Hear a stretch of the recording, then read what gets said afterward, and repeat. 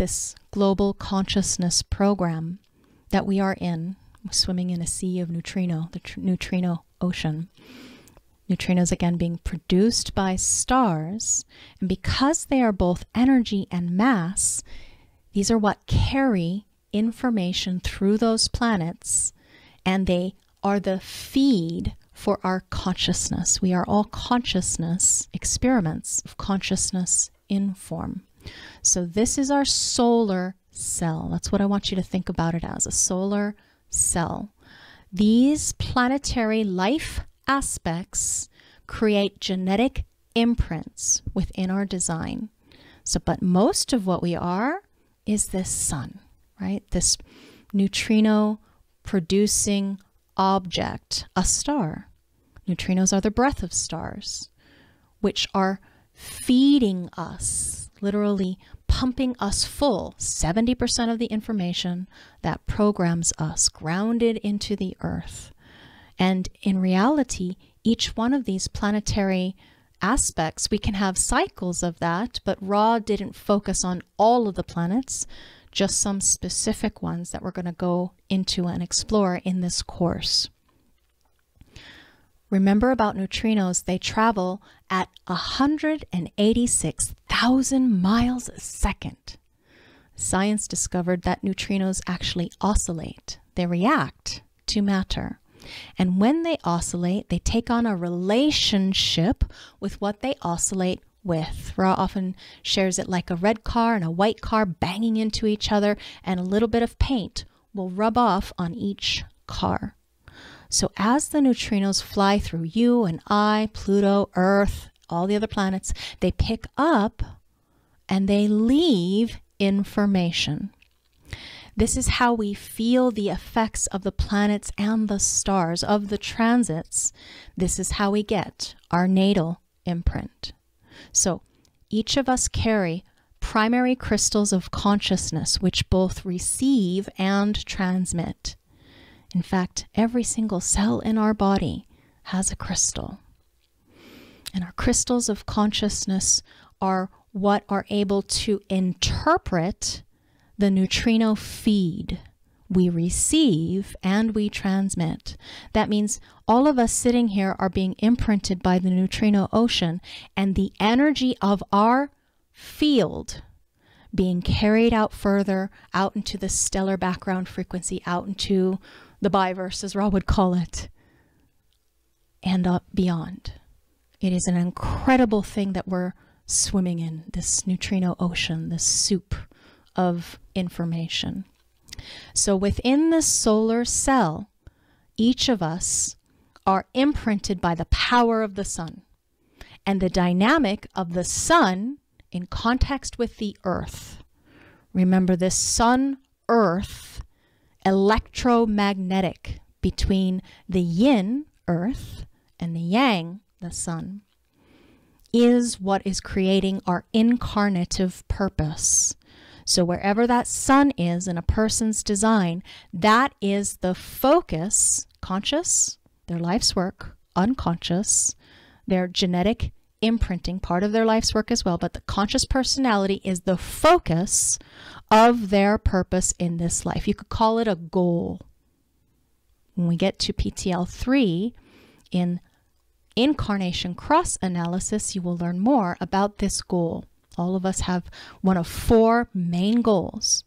So we live out the Tao between the yang and the yin, the yin and the yang, these two great forces, form and energy.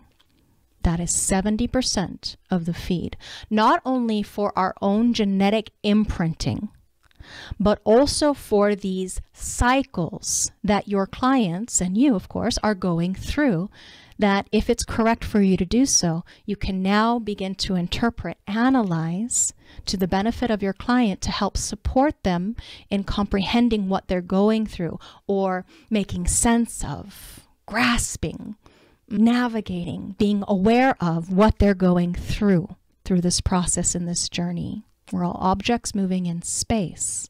And here are the great planetary objects that affect us if you could imagine throwing up in the air a deck of cards Here we have them all flying around planets, moons, the star, and the stellar background frequency that's beyond the solar cell.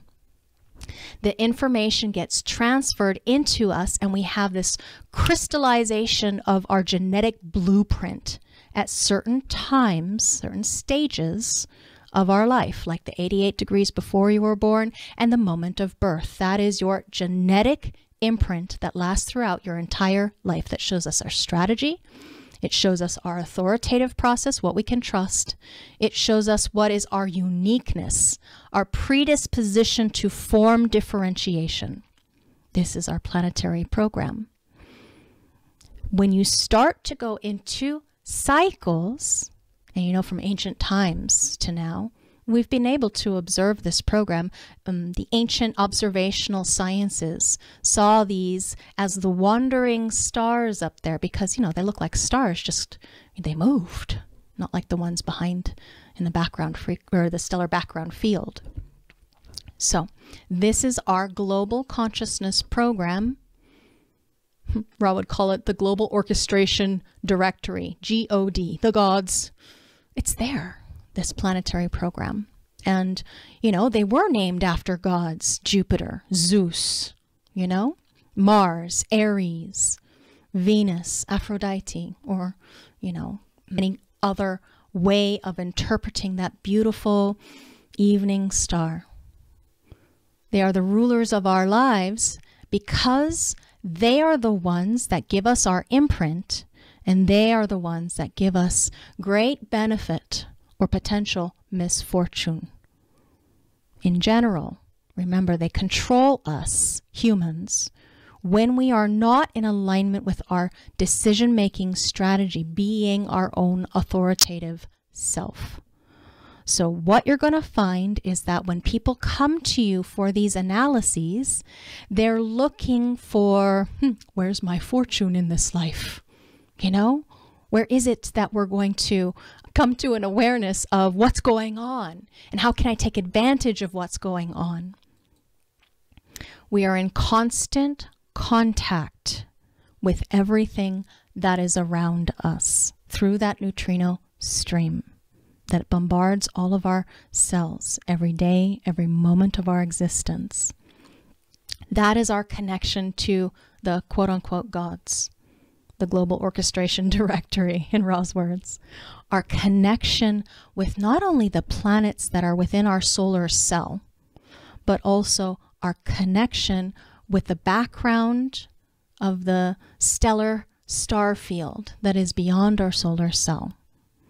That imprint coming through the windows of our life where we encounter others, the environment that we be in, the unconscious nodal imprint. And the way that we see directionally in this life that time frame that road that path that we walk the conscious personality is the way that we see on this path and in this journey. You're going to now take into account a new imprint. Depending on what cycle it is, it's going to show you different thematics that is teaching that being, or you yourself, if you're analyzing yourself, teaching us about life, what we're here to learn, what we're here to experience through that constant contact with everything all around us, these times in our lives, these phases and stages that we're going to experience life. We all live in a sea, cosmic neutrinos, neutrino ocean, as Ra would say, moving at almost the speed of light. Billions of neutrinos pass through the Earth each second, penetrating everything all the time. This is an exchange of information. We live in a galaxy that's populated with endless millions, billions of stars, and they all produce neutrinos. Those neutrinos are moving through space, reaching everywhere. We live in a kind of grid, as Ra would say. So here's the general big picture view thematic of Ra's grid or imprint, the life unfolding, that path in his trajectory through space.